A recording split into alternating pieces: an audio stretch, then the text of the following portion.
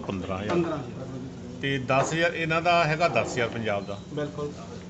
ਜਦ ਕਿ ਗੱਡੀ ਤਾਂ ਇੱਕੋ ਹੀ ਮਤਲਬ ਚਾਹੇ ਦਿੱਲੀ ਸਰਕਾਰ ਦੇ ਚ ਇੱਕ ਮੰਗ ਪੱਤਰ ਬਣਾ ਤੇ ਜੀ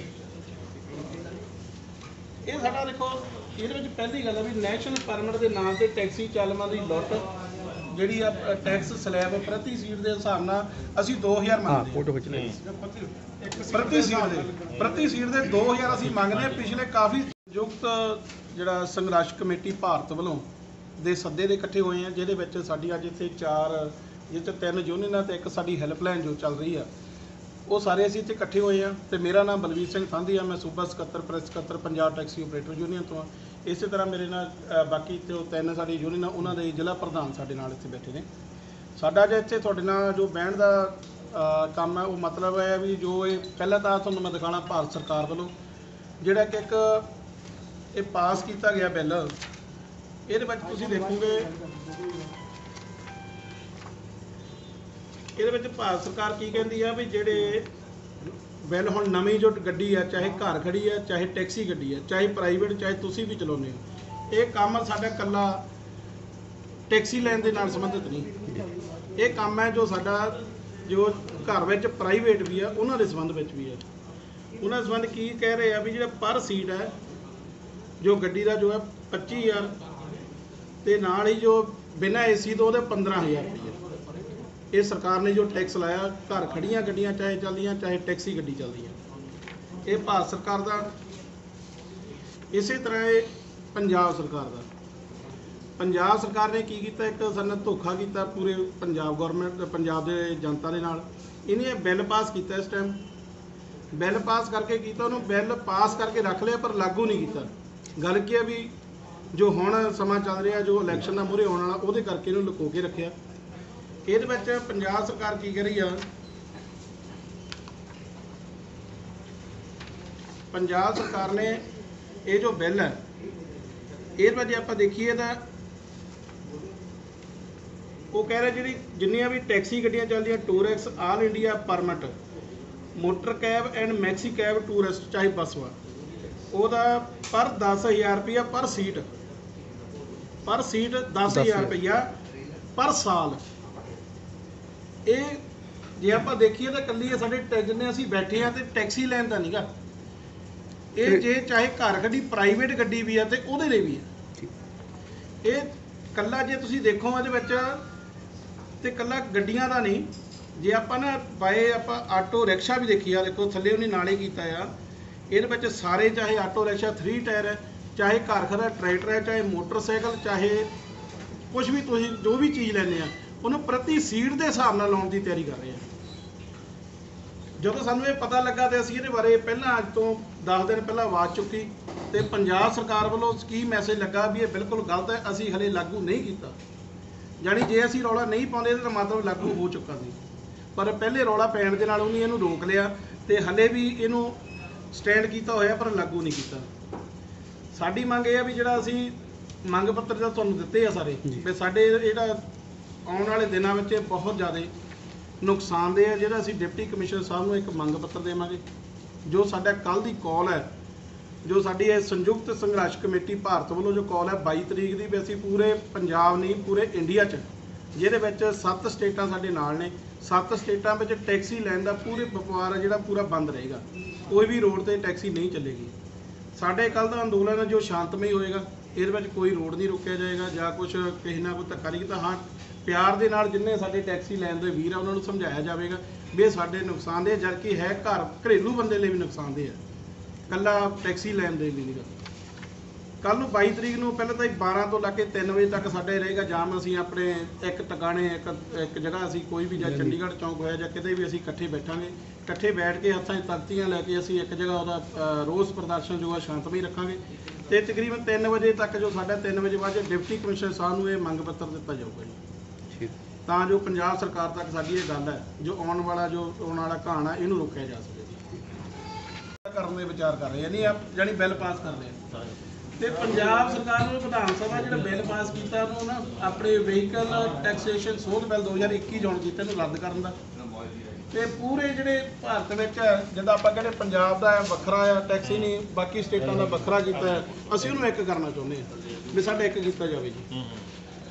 ਹਾਂ, ਬਿਲਕੁਲ ਸਹੀ। ਚੀਜ਼ ਗੱਡੀ ਲੈਣੇ ਹੋ ਤੇ 20% ਜੋ ਰੇਟ ਹੈ ਗੱਡੀ ਦਾ, ਇਹ ਵੀ ਅੱਜ ਅਸੀਂ ਇਸ ਕਰਕੇ 20 ਬੰਦਿਆਂ ਤੋਂ ਵੱਧ ਨਹੀਂ ਇਕੱਠੇ ਹੋਏ। ਪਰ ਆਹ ਜਿਹੜਾ ਲੋਕਾਂ ਤੱਕ ਇਹ ਆਮ ਲੋਕ- ਲੋਕਾਂ ਤੱਕ ਇਹ ਗੱਲ ਪਹੁੰਚਣੀ ਚਾਹੀਦੀ ਹੈ ਕਿ ਆਉਣ ਵਾਲਾ ਟਾਈਮ ਬਹੁਤ ਹੀ ਮਾੜਾ ਹੈ।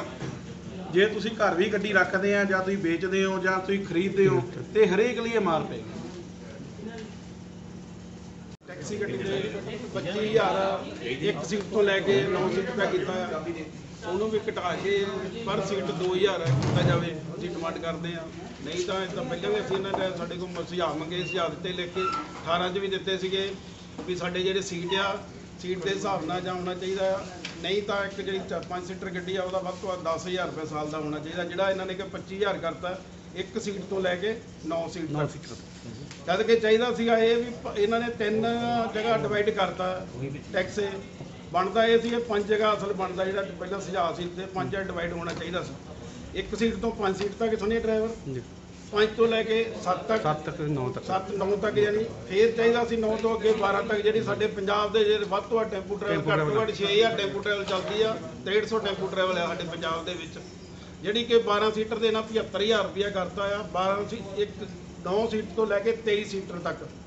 ਜਿਹੜਾ ਕਿ ਬਹੁਤ ਜ਼ਿਆਦਾ ਆ, ਜਿਹੜਾ 23 ਸੀਟਰ ਵਾਲਾ ਉਹ ਤਾਂ ਹੈ ਦੂਸਰਾ ਸਹਿਮਤ ਹੈ ਇਹਦੇ ਜਿਹੜਾ 12 ਸੀਟ ਵਾਲਾ ਆ, ਉਹਨੂੰ ਇੱਕ ਸੀਟ ਤੇ 6000 6500 ਰੁਪਇਆ ਪੈ ਰਿਹਾ ਇੱਕ ਸਾਲ ਦਾ। ਜਦ ਕਿ ਅਸੀਂ ਡਿਮਾਂਡ 2000 ਦੀ ਕੀਤੀ ਪਹਿਲਾਂ, ਇਹਨਾਂ ਨੂੰ ਸੁਝਾਅ ਦਿੱਤੇ ਸੀਗੇ ਸਾਰੇ ਆਲ ਇੰਡੀਆ ਨੇ। ਇਹਦੇ ਵਾਸਤੇ ਅਸੀਂ ਕੇਂਦਰ ਸਰਕਾਰ ਤੋਂ ਮੰਗ ਕਰਦੇ ਹਾਂ, ਅਸੀਂ ਇਹ ਜਿਹੜੇ ਟੈਕਸ ਆ, ਇੰਨਾ ਅਸੀਂ ਨਹੀਂ ਦੇ ਸਕਦੇ 75000 ਇਹ ਸਾਡੇ ਦੇ ਪੰਜ ਜਗ੍ਹਾ ਡਿਵਾਈਡ ਕੀਤਾ ਜਾਵੇ। ਪੰਜ ਸੀਟਰ ਦਾ ਅਲੱਗ 9 ਸੀਟਰ ਦਾ ਅਲੱਗ 7 ਦਾ ਅਲੱਗ। ਤੇ 12 ਸੀਟਰ ਦਾ ਅਲੱਗ 12 ਤੋਂ ਉੱਤੇ 23 ਸੀਟ ਤੋਂ ਉੱਤੇ ਜਿੰਨਾ ਮਰਜ਼ੀ ਉਹ ਸਾਰੇ ਬੱਸਾਂ ਦਾ ਆ ਜਾਂਦਾ ਬੱਸ ਆ ਜਾਂਦੀ ਮਿੰਨੀ ਬੱਸ ਉਹ ਬੱਸਾਂ ਦਾ ਇੱਕ 40 ਸੀਟਰ ਹੋਵੇ 45 ਸੀਟਰ ਉਹਨਾਂ ਦਾ 3 ਲੱਖ ਰੁਪਈਆ ਤੇ ਉਹ ਹੋ ਜੇ ਉਹਦਾ ਕੋਈ ਦੂਜਾ ਨਹੀਂ ਸਾਨੂੰ ਦੂਸਰਾ ਆ ਉਹ ਡਿਮਾਂਡ ਉਹ ਕਰਦੇ ਵੀ ਸਾਨੂੰ 40 50 23 ਸੀਟਰ ਤੋਂ ਉੱਪਰ ਜੇ ਹੋਵੇ ਜਾਂ 45 ਸੀਟਰ ਤੱਕ। ਅਸੀਂ ਇਹ ਡਿਮਾਂਡ ਕਰਦੇ ਟੈਕਸੀ ਲੈਣ ਵਾਲੇ ਸਾਰਿਆਂ ਤੋਂ ਜ਼ਿਆਦਾ ਇਹਦੇ ਟੈਕਸੀ ਲੈਣ ਦੇ ਜਿਹੜੇ 4 ਸੀਟਰ ਵਾਲੇ ਆ ਜਾਂ ਟਰੈਵਲ ਵਾਲੇ ਆ ਜਾਂ ਨੋਵਾ ਵਾਲੇ ਆ ਇਹਨਾਂ ਨੂੰ ਸਾਰਿਆਂ ਤੋਂ ਜ਼ਿਆਦਾ ਘੱਟ ਆਇਆ ਇਹਦਾ ਬੱਸਾਂ ਵਾਲਿਆਂ ਦਾ 55 ਸੀਟਰ ਨੂੰ ਤਾਂ ਫਿਰ ਵੀ ਕੋਈ ਹਿਸਾਬ ਲਾ ਕਿਤੇ ਬਣਦਾ Buddh all India transport company Congress ਆ, ਉਹਨਾਂ ਨੇ ਤਾਂ ਕਿਹਾ ਸੀ, ਅਸੀਂ ਸਹਿਮਤ ਹਾਂ। ਜਿਹੜਾ ਇਹ ਅਸੀਂ ਡਿਮਾਂਡ ਕੀਤੀ ਸੀਗੀ, ਇਹਦੀ ਆਲ ਇੰਡੀਆ ਇੱਕ ਟੈਕਸ ਹੋਣਾ ਚਾਹੀਦਾ ਆ ਉਹ ਟੈਕਸ ਨਾਲ ਇੱਕ ਕਾਨੂੰਨ ਬਣਾਇਆ, ਉਹ ਵਧੀਆ ਗੱਲ ਆ। ਪਰ ਇਹਨਾਂ ਨੇ ਜਿਹੜਾ ਟੈਕਸ ਜਿਹੜਾ ਲਾਗੂ ਕੀਤੇ ਬਹੁਤ ਜ਼ਿਆਦਾ, ਉਹ ਇਹਨਾਂ ਨੇ ਸਾਡੇ ਨਾਲ ਧੱਕਾ ਕੀਤਾ। ਅਸੀਂ ਇੰਨਾ ਟੈਕਸ ਅਸੀਂ ਨਹੀਂ ਦੇ ਸਕਦੇ। ਅਸੀਂ ਇਹ ਕੱਲ ਨੂੰ 22 ਤਰੀਕ ਦੀ ਜਿਹੜੀ ਹੜਤਾਲ ਕਰ ਰਹੇ 3 ਘੰਟੇ ਲਈ ਇਸ ਕੰਪਨੀ ਕਰ ਰਹੇ ਹਾਂ। ਵੀ ਜਿਹੜੀ ਸਾਡਾ ਆ ਹੜਤਾਲ ਆ ਟੈਕਸ ਵਾਪਸ ਲੈ ਜਾਣ, ਘੱਟ ਕੀਤੇ ਜਾਣ, ਜਾਇਜ਼ ਆ, ਇਹ ਆਲ ਇੰਡੀਆ ਟੈਕਸ ਸਾਨੂੰ ਵੀ ਮਨਜ਼ੂਰ ਆ। ਪਰ ਇਹ ਨਹੀਂ ਮਨਜ਼ੂਰ ਹੈਗਾ ਵੀ ਸਾਨੂੰ ਇਹ ਟੈਕਸ ਹੈ ਇੱਕੋ ਸੀਟ ਤੋਂ ਲੈ ਕੇ 9 ਸੀਟ ਤੱਕ ਇੱਕੋ ਟੈਕਸ ਕੀਤਾ ਜਾਵੇ। ਅਸੀਂ ਇਹ ਚਾਹੁੰਦੇ ਆ ਵੀ ਸਾਡੇ 1 ਤੋਂ ਲੈ ਕੇ 5 ਤੱਕ 5 ਤੋਂ ਲੈ ਕੇ 7 ਤੱਕ 9 ਤੱਕ ਇੱਕੋ ਹੋਵੇ। 12 ਸੀਟਰ ਦਾ ਅਲੱਗ ਟੈਕਸ ਹੈ ਟਰੈਵਲ ਜਿਹੜੀ ਟੈਂਪੂ ਟਰੈਵਲ 6300 ਘੱਟ ਘੱਟ ਤੋਂ ਘੱਟ ਦੇ ਟੈਂਪੂ ਟਰੈਵਲ ਪੰਜਾਬ 'ਚ ਚੱਲਦੀ ਆ। ਉਹਨਾਂ ਟਰੈਵਲਾਂ ਟਰੈਵਲ ਨਾਲ ਸਾਰਿਆਂ ਨੂੰ ਜ਼ਿਆਦਾ ਤੇ ਛੁੱਟੀ ਨਾਲ ਸਾਰਿਆਂ ਨੂੰ ਧੱਕਾ ਸੈਂਟਰ ਗਵਰਨਮੈਂਟ ਦਾ। ਅਸੀਂ ਇਹ ਨਹੀਂ ਦੇ ਸਕਦੇ, ਜੇ ਇਹ ਨਹੀਂ ਮੰਨਦੇ, ਅਸੀਂ ਕੱਲ ਦੇ ਹੜਤਾਲ ਤੋਂ ਬਾਅਦ ਅਸੀਂ ਫਿਰ ਇਹ ਸੰਘਰਸ਼ ਗਾਹ ਤੋਂ ਬਹੁਤ ਜ਼ਿਆਦਾ ਤੇਜ਼ ਕਰਾਂਗੇ। ਔਰ ਅਸੀਂ ਇਹ ਸਾਰਿਆਂ ਨੇ ਫੈਸਲਾ ਕੀ- ਕੀਤਾ ਵਾ, ਸਾਰੇ ਆਲ ਪਿੰ- ਇੰਡੀਆ ਨੇ। ਫਿਰ ਬਾਅਦ ਜਿਹੜੇ ਟੈਕਸੀ ਲੈਣ ਦੀਆਂ ਗੱਡੀਆਂ ਅਸੀਂ ਕੋਈ ਪਰਮਿਟ ਪਰਮਿਟ ਸਾਰੇ ਅਸੀਂ ਜਮ੍ਹਾਂ ਕਰਾ ਦੇਣੇ, ਅਸੀਂ ਕੋਈ ਚਲਾਉਣੀ ਹੋਈ ਜਿੱਦਾਂ ਬਾਕੀ ਸਾਰੀ ਲੱਖਾਂ ਪ੍ਰਾਈਵੇਟ ਚੱਲਦੀ ਗੱਡੀ ਇਦਾਂ ਚਲਾਵਾਂਗੇ।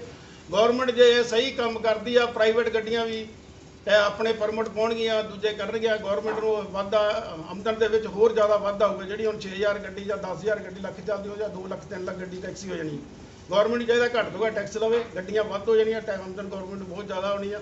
ਅਸੀਂ ਗਵਰਨਮੈਂਟ ਤੋਂ ਅਪੀਲ ਕਰਦੇ ਆ ਵੀ ਸਾਡੀ ਗੱਲ ਜਿਹੜੀ ਸੁਣੀ ਜਾਵੇ। ਅਸੀਂ ਕੱਲ ਨੂੰ 12 ਤਿੰਨ ਤੱਕ ਸ਼ਾਂਤਮਈ ਢੰਗ ਨਾਲ ਅੰਦੋਲਨ ਹੜਤਾਲ ਕਰਾਂਗੇ। ਹੜਤਾਲ ਕਰਨ ਦੇ ਟੈਕਸੀ ਲੈਣ ਦਾ, ਉਸ ਤੋਂ ਬਾਅਦ ਡੀਸੀ ਸਾਹਿਬ ਨੂੰ ਮੰਗ ਪੱਤਰ ਦੇਵਾਂਗੇ। ਥੈਂਕ ਯੂ ਤੇ ਦਾਸ Kamjit Singh director travel union ਪ੍ਰਧਾਨ ਨਵਾਂਸ਼ਹਿਰ ਤੇ ਜਿੱਦਾਂ ਤੁਸੀਂ ਬਲਵੀਰ ਸਿੰਘ ਸੰਧੀ ਸਾਹਿਬ, ਉਹਨਾਂ ਤੋਂ ਵੀ ਹੁਣੇ ਹੁਣੇ ਵਿਚਾਰ ਉਹਨਾਂ ਦੇ ਸੁਣੇ ਆ।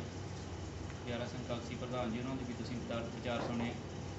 ਤੇ ਅਸੀਂ ਇਹਨਾਂ ਸਾਰੇ ਵਿਚਾਰਾਂ ਦੇ ਨਾਲ, ਇਹਨਾਂ ਦੇ ਨਾਲ ਸਹਿਮਤ ਹਾਂ ਪਹਿਲੀ ਗੱਲ ਤਾਂ ਇਹ ਚਾਰੇ ਯੂਨੀਅਨ ਜਿਹੜੀਆਂ ਪੰਜਾਬ ਦੀਆਂ ਇਕੱਠੀਆਂ ਹੋ ਕੇ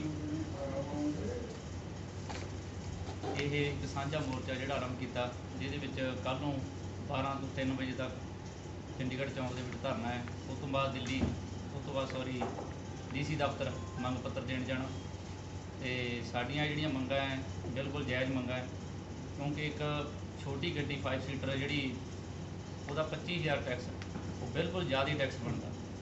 ਇੱਕ ਟਰੱਕ ਦੇ ਉੱਪਰ ਟਰੱਕ ਦਾ ਮੇਰੇ ਖਿਆਲ ਨਾਲ 15000 16,000 ਰੁਪਇਆ 16000 ਰੁਪਏ ਇੱਕ ਟਰੱਕ ਦਾ ਟੈਕਸ ਤੇ ਸਾਡੀ 5 ਸੀਟਰ ਗੱਡੀ ਦਾ ਜਿਹੜਾ ਇਹਨੀ 25000 ਟੈਕਸ ਸਾਨੂੰ ਥੋਪਿਆ ਗਿਆ ਕਿਸਮ ਦਾ ਇਹ ਲਾਇਆ ਤਾਂ ਨਹੀਂ ਥੋਪਿਆ ਗਿਆ। ਉਸ ਤੋਂ ਬਾਅਦ ਜੇਕਰ ਪੰਜਾਬ ਸਰਕਾਰ ਜਿਹੜੀ ਉਹ ਟੈਕਸ ਉਹ ਵੀ ਸਾਡੇ ਪਰ ਲਾ ਦਿੰਦੀ ਹੈ ਫਿਰ ਤਾਂ ਬਿਲਕੁਲ ਹੀ ਧੱਕਾ ਵਾਲੀ ਗੱਲ ਹੋ ਕਿਉਂਕਿ 10000 ਰੁਪਇਆ ਇੱਕ ਸੀਟ ਦਾ ਟੈਕਸ 5 ਸੀਟਰ ਗੱਡੀ ਦਾ 50000 ਰੁਪਇਆ ਟੈਕਸ ਬਣ ਜੂ। ਤੇ 7 ਸੀਟਰ ਗੱਡੀ ਦਾ 70000 ਟੈਕਸ ਟੈਂਪੂ ਟਰੈਵਲ ਦਾ 130000 ਰੁਪਇਆ ਟੈਕਸ ਬਣ ਜੂ। ਤੇ ਫਿਰ ਤਾਂ ਅਸੀਂ ਟੈਕਸਾਂ ਜੋਗੇ ਰਹਾਂਗੇ। ਬਾਕੀ ਜਿਹੜੀ ਪੁਲਿਸ ਲੁੱਟ ਸੁੱਟ ਕਰ ਰਹੀ ਉਹ ਵੱਖਰੀ। ਕਾਗਜ਼ ਪੱਤਰ ਪੂਰੇ ਹੋਣ ਦੇ ਬਾਵਜੂਦ ਵੀ ਜੋ ਪੁਲਿਸ ਕਰ ਰਹੀ ਹੈ ਹਿਮਾਚਲ ਜਾਣੀ ਉੱਥੇ ਐਂਟਰੀਆਂ ਬਿਲਕੁਲ। ਪੰਜਾਬ ਜਾਣੀ ਇੱਥੇ ਐਂਟਰੀਆਂ ਇੱਥੇ ਫਲੋਰ ਤੱਕ ਵੀ ਜਾਣਾ ਹੋਵੇ ਤੇ ਸਾਡੇ ਇੱਥੇ ਉਹ ਚੱਕਦਾਨੇ ਖੜੇ ਉਹੀ ਨਹੀਂ ਪਹਿਲਾਂ ਤਾਂ ਛੱਡਣ ਛੱਡਣ ਕਿਸੇ ਨੂੰ ਵਰਦੀਆਂ ਦਾ ਕਿਸੇ ਨੂੰ ਕੁਛ ਕਿਸੇ ਨੂੰ ਕੁਛ। ਕਾਗਜ਼ ਪੂਰੇ ਹੋਣ ਦੇ ਬਾਵਜੂਦ ਵੀ ਜਾਣੀ ਜਿਹੜਾ ਸਾਡਾ ਟੈਕਸੀ ਭਾਈਚਾਰਾ ਸਾਡੇ ਡਰਾਈਵਰ ਵੀਰ ਹੈ ਉਹਨਾਂ ਨੂੰ ਇੰਨਾ ਤੰਗ ਹੋ ਰਹੇ ਜਿਹੜਾ ਕੋਈ ਦੱਸਣ ਵਾਲੀ ਗੱਲ ਨਹੀਂ। ਇਸ ਕਰਕੇ ਅਸੀਂ ਪੰਜਾਬ ਸਰਕਾਰ ਤੋਂ ਇਹੀ ਮੰਗ ਕਰਦੇ ਹਾਂ ਕਿ ਜਿਹੜੇ ਇਹ ਸੈਂਟਰ ਤੋਂ ਵੀ ਤੇ ਪੰਜਾਬ ਤੋਂ ਵੀ। ਕਿਉਂਕਿ ਜੇ ਜੇਕਰ ਦੋਵੇਂ ਕਾਨੂੰਨ ਇਹ ਲਾਗੂ ਹੋ ਗਏ ਤਾਂ ਨਾ ਅਸੀਂ ਇਹ ਕੰਮ ਛੱਡਣ ਜੋਗੇ ਨਾ ਕਰਨ ਜੋਗੇ। ਇਹੀ ਬੇਨਤੀ ਹੈ ਜੀ। ਵਾਹਿਗੁਰੂ ਜੀ ਕਾ ਖਾਲਸਾ ਵਾਹਿਗੁਰੂ ਜੀ ਕੀ ਫਤਿਹ